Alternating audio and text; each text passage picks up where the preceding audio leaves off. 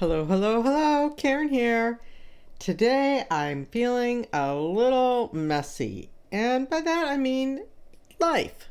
Life is hard, life gets messy, it gets challenging.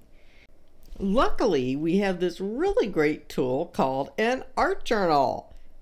It's a really wonderful place to just play out all of that messiness that you're feeling in your life and just let it all go.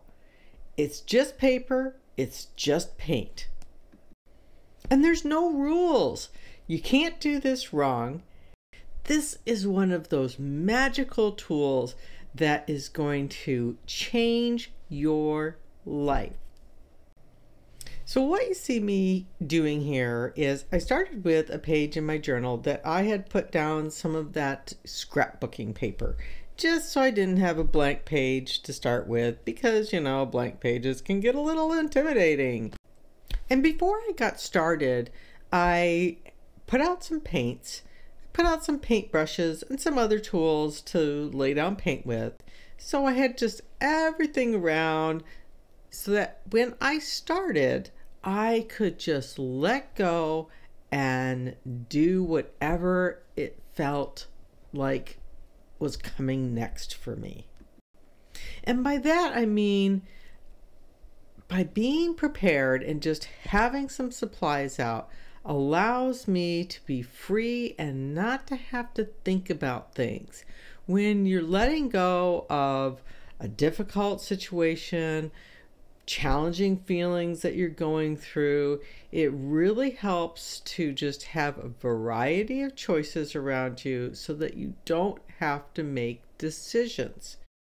For me, I find that making decisions while I'm working in my art journal just trips me up. It gets in my way and it stops the creative flow.